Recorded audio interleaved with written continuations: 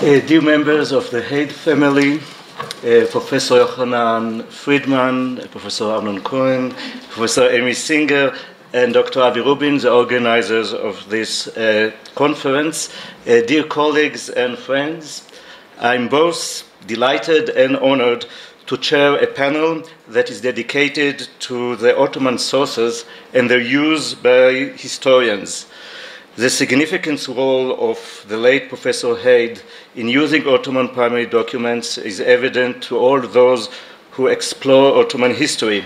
Furthermore, his status as one of the major contributors to the so called archival turn in writing Ottoman history is equally clear and well remembered.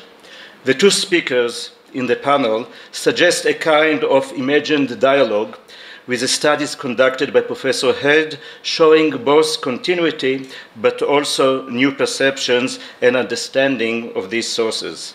The heroes in this panel are the sources themselves. In Amy case, the Muhimme documents, while Guy explores the collection of legal collections of legal opinions.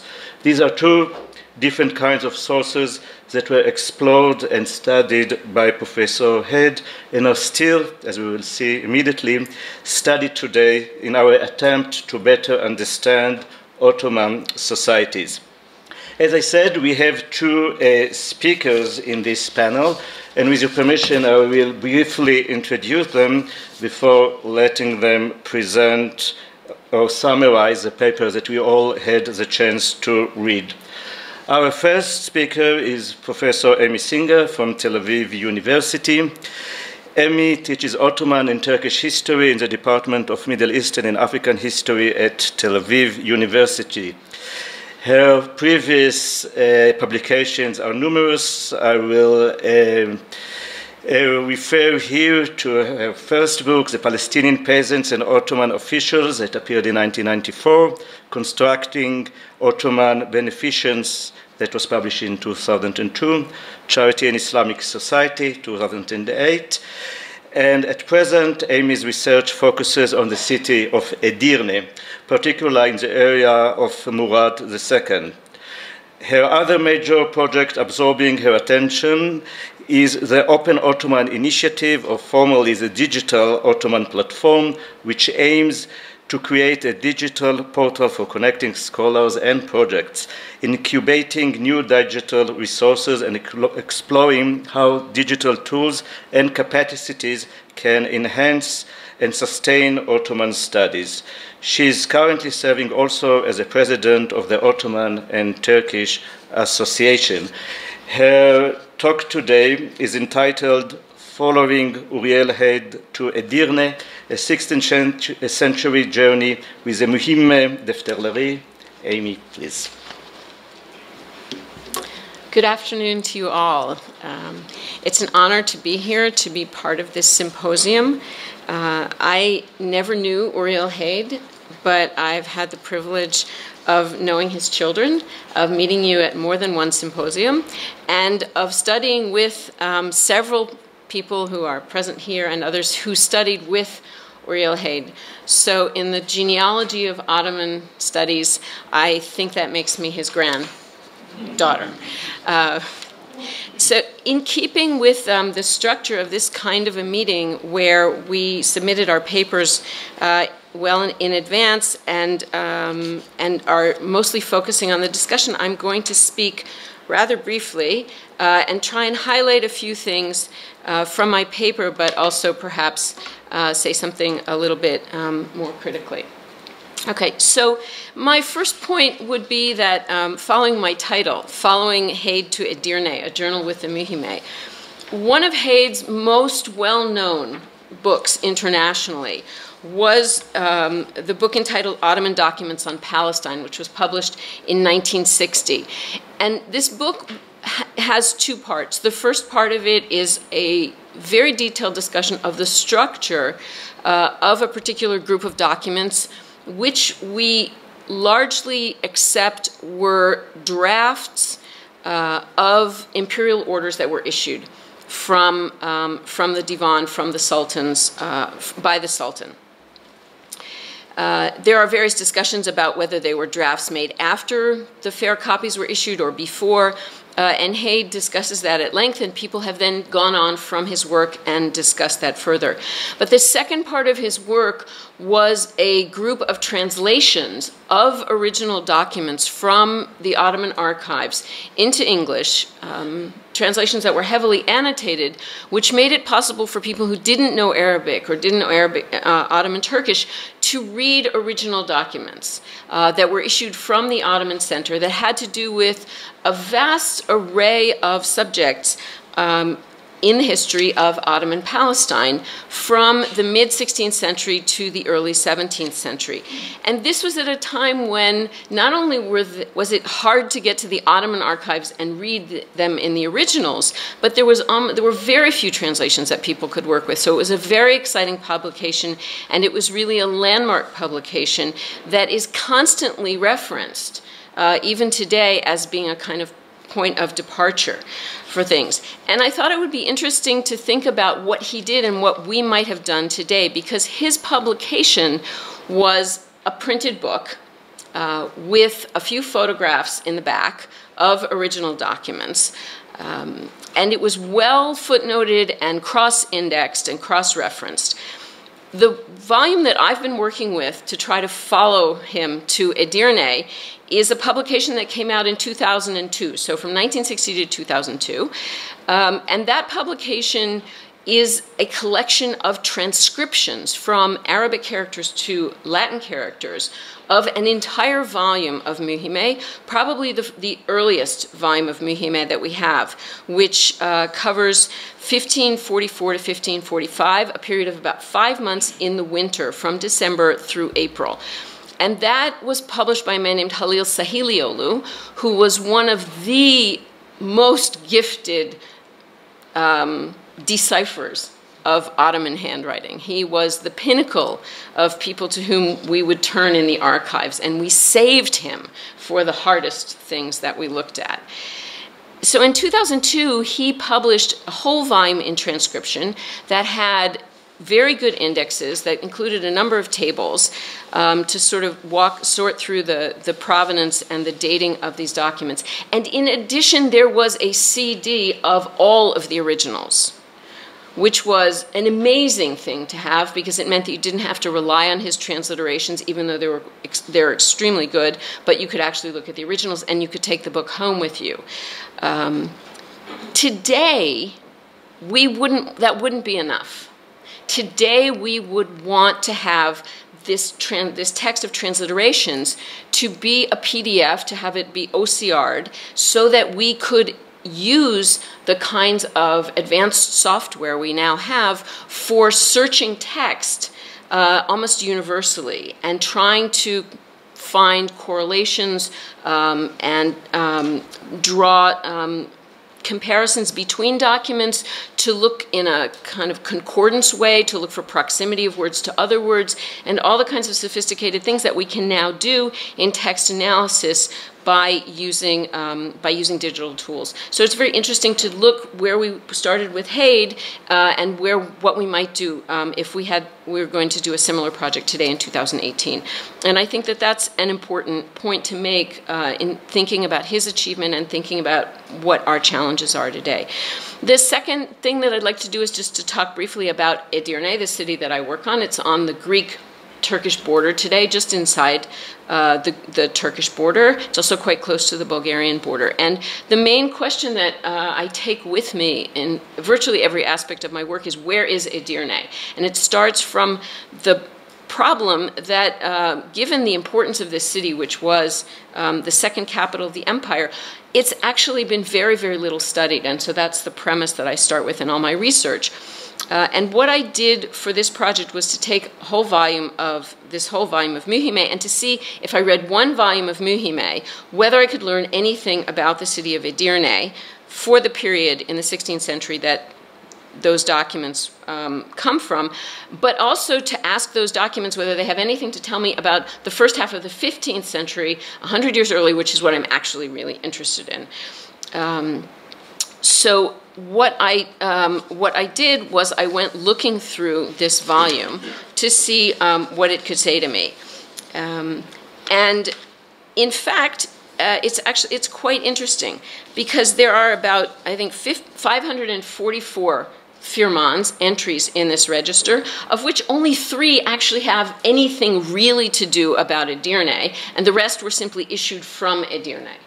Um, and that's quite frustrating on the one hand, but on, on the other, it tells me that Edirne was so obviously a place where the Sultan was that it wasn't a it wasn't a point of interest to say much about it, um, and that business went on as usual, whether the Sultan was in Edirne or in Istanbul or any place else.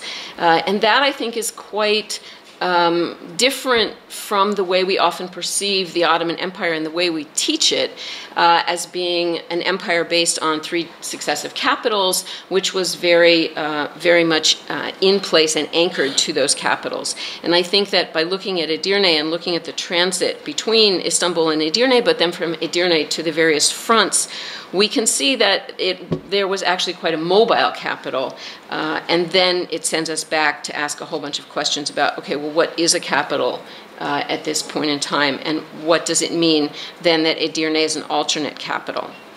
One of the things that was most attractive about Edirne for the sultans um, was that it wasn't Istanbul. It was away from sort of throbbing center, huge city uh, of the empire.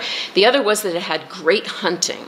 So it was uh, a place of residence, but it was also a place from which they could go out uh, and um, have fun. And I say have fun in quotes because, in fact, hunting was quite serious business. Um, it was a way of staying in shape through the winter months in all of those activities that were necessary for making it through the summer months of campaigning um, riding, shooting, um, acting as a group. It was a way, I think, um, and I would suggest it was a way of testing the people with me, whether they were reliable, whether they were trained properly, and whether I wanted them with me when my life was actually in danger, as opposed to just chasing beasts around Thrace. Um, the other thing that I tried to do in this volume is the one one of the firmans, which has to do with Edirne, is quite a long discussion of all of the things that have to be done in order to set up the hunting party that the Sultan was organizing in late December. It was good. They left uh, Edirne in late December, and they spent um, 38 days romping around Thrace, uh, hunting before they got back to Edirne. And we know this in part because we have 164 orders that were issued while they were on the hunt, uh, which tells us, again, something about the mobility of government, um, which we don't normally think about. And then one of the things that I did, let me see if I can do this correctly. Right, okay. So one of the things that I thought would be interesting to do would be to take the information that I have about this hunt in the 16th century and to see whether I could match it with other information I have from the chronicle of a man named Bertrandon de la Brocquière, who went actually chasing the Sultan in Thrace in 1433. He had come on a diplom- as part of a diplomatic mission, which went from Constantinople, Byzantine Constantinople, to meet the Sultan in Ottoman Edirne. Uh, and when they got to Edirne, they were told, well, he's off hunting. And this diplomatic mission decides they're going to go tracking the Sultan through Thrace to see if they can't catch up with him and have their meeting there. So they, they follow him uh, until they get to the Greek city of Komotini, uh, here, which is Ottoman Gümüşhane. Uh, and there they're told that, well, he's much further forward in Serez, which is way over here uh, already in Macedonia. So they keep going a little farther to Zante, at which point someone says, you know what, he doesn't want to talk to you. If you want to talk to him, go back to Edirne and wait until he gets there. And that's exactly what they do. They go back and then they have to sit there for two weeks till the Sultan comes back. And eventually they get their audience. So this is the trajectory of de la Brocquière's group from Edirne out through Thrace. This is the way they come from Constantinople uh, up what's called the Via Militaris from the Roman period, and then they come down into Thrace and south of the Rhodope Mountains. So that was their trajectory. And then I took the waypoints um, from this hunting mission that was, this hunting party that was organized, and these are the points which are basically assigned as waypoints in the orders that are sent out, which you can see in the collection of the Muhimme. And at each of these points, there's a certain amount of grain which is supposed to be there. There are other food supplies that are meant to be waiting for this hunting party when they get there. Uh, so they leave Edirne and they go through Thrace, they get to Komotini, they go a bit further, and then they come back. If we overlay the two, um, we have an almost perfect match which simply tells us that this is a very, very standard route, that it was a hunt, that those were the hunting grounds for at least 100 years, um, perhaps more if I go on with this, uh, and that these are the way stations that the Ottomans used, that this is a very typical kind of path for them to have taken. Um, so that was one exercise that I tried to do with the with information from two different sources, but quite um, uniquely from the Muhimme source, for which I had, didn't have any, um, I hadn't previously found anything. Um, and so one of my questions is, okay, if I read this 16th century source, but I want to look at the 15th century, is there anything that I can really learn? I think that what the 16th century source has forced me to do is to think, okay, if it looked like this in the 16th century, would it have looked like that in the 15th or would it have looked quite different? The Ottoman enterprise was much smaller in the 15th century, so the numbers of people and the quantities of things that are listed in the 16th century would have been um, much smaller. And that's just one example of the kind of question that, um, that comes to mind when, um, when I look at this. Um, it what we can see is in the 15th century, when the Sultan is actually based in Edirne, when he's actually sitting still, which is not that often, uh, in, the, in the 15th century. In the 16th century, the sultans are still spending months at a time based in Edirne. This entire volume of Muhimme is written from Edirne. And it's an accident that we have this collection. It's very fortuitous for me that it was in the winter. And it shows us that this actually turns out to be the winter home or capital of the Ottomans for a, quite a long period after they've actually moved to Istanbul.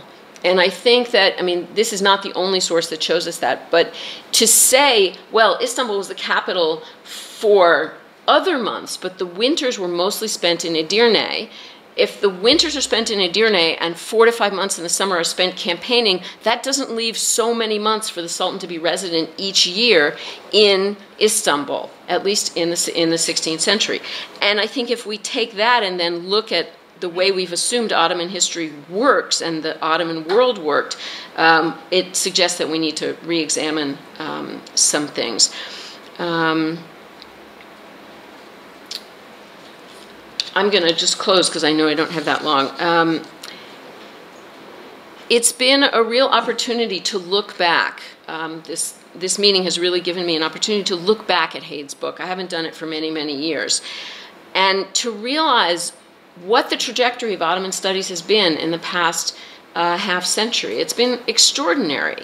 Um, there are dozens and dozens of people writing Ottoman history now. And I think the most telling thing is that when I was a graduate student some 30 years ago, I actually thought that by the time I got to this point, I might have read most of the corpus of published material about Ottoman history, Ottoman studies, not the entire source base, but that I would have gotten through most of the major publications. I don't even begin to have that aspiration anymore. It's too big. It's fantastic. Uh, and Heyd is one of the real foundational anchors of this research um, internationally, not just here, but really around the world um, with this collection of documents. So I'm going to stop there. Thank you very much.